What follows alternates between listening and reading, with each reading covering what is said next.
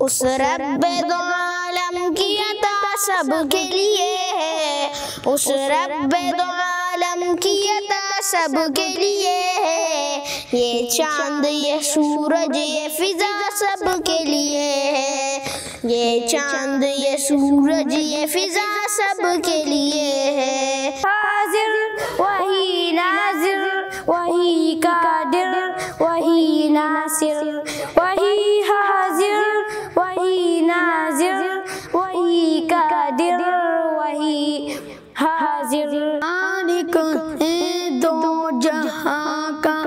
کتنا رحیم ہے تو، کتنا کریم ہے تو، ہم پر بھی فضل کر دے۔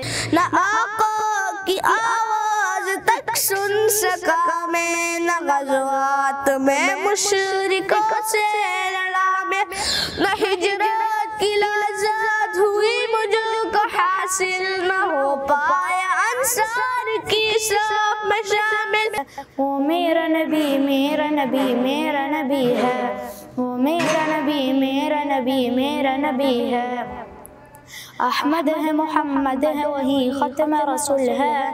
مخدوم مرابی ہے، وہی والی کل ہے۔ ہم نے آنکھوں سے دیکھا نہیں ہے مگر ان کی تصویر سینے میں موجود ہے۔ جس نے لا کر کلام الہی دیا، جس نے لا کر کلام الہی دیا، وہ محمد مدینے میں موجود ہے۔ صلی علی سیدنا صلی اللہ علیہ وسلم۔ صل على سيدنا صلى الله عليه وسلم. موت آ مگر میں اس سے غافل تھا۔ مگر میں اس سے غافل تھا۔ کفن بازار میں ابھی چکا لیکن لبیک، القدس لنا، لبیک۔ اے ارض مقدس، ارض حرم نبیوں کے وطن۔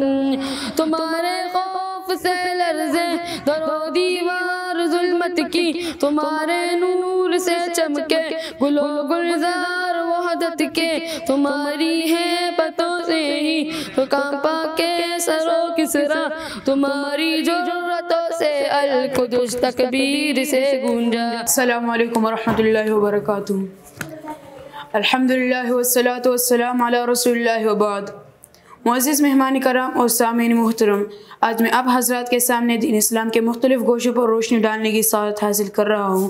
امید ہے کہ بغور سماعت فرمائیں گے۔ کسی شاعر نے کہا ہے نکروز میرے جرم و گناہ بے حد کا نکروز میرے جرم و گناہ بے حد کا، الہی تجھ کو غفور الرحیم کہتے ہیں۔ قدم قدم پہ برکت نفس نفس پہ رحمت قدم قدم پہ برکت نفس نفس پہ رحمت جہاں جہاں سے وہ شفیع آسیہ گزر گیا۔ جہاں نظر نہیں پڑی، وہاں حیرت آج تک۔ جہاں نظر نہیں پڑی، وہاں حیرت آج تک وہی وہی سحر ہوئی جہاں جہاں گزر گیا۔